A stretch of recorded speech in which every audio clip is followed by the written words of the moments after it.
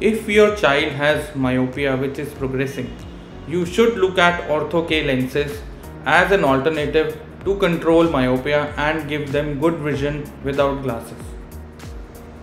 Myopia or nearsightedness has become a pandemic with more and more children coming to me for glasses how to control this myopia or the chashme ke number. I have earlier made a video on how you can control myopia in children. You can click on the link above to see that video.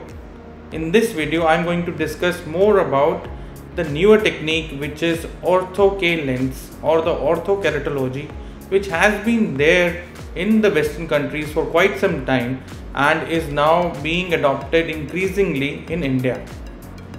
Ortho K lenses are basically lenses that fit the curvature of the cornea and they flatten the cornea which reduces the corneal part and thus giving you a myopia control.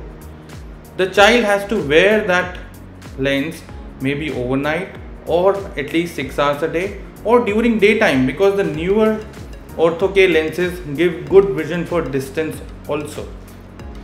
Once you remove these lenses, the child is able to see better without the glasses that he was early wearing. So it reduces the dependency on glasses.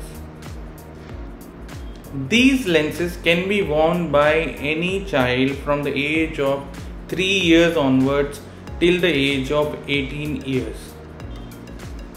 Why do I say 18 is because we can do various glass removal or spectacle removal surgeries after 18 years of age.